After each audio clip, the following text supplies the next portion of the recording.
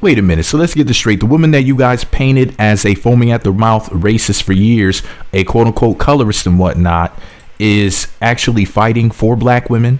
You know, if you guys didn't know, Cardi B went to the club recently, and allegedly at the club, some people allegedly did not want for black women to get into the club, and it's a very popular club in Miami, Florida. Okay, so Cardi B, being the type of person that she is, you know, she's not down for the discrimination or anything. She's like, look, let the sisters in, let them come shake their butt and drink liquor too. She didn't say like that.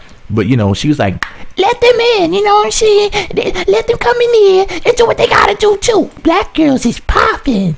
Okay, she didn't say it like that. And other people, I guess, who have been to the club or whatever, were saying on social media so many words like, this place is just notorious for doing this. Like, this is not, you know, something that's hidden or something that's not well known. Like, this is just the way that they get down there. So I don't know who told Cardi B that they weren't let the, letting the sisters in the club, but allegedly, you know, she felt like as if they might be being discriminated against, allegedly, and she said something about it. So for all of you haters out there who wish you were her, who wish you had a career, who wish you had a husband and some beautiful kids, kids and wish that y'all had a big booty and a pretty face and all the other shit that she got is going for her.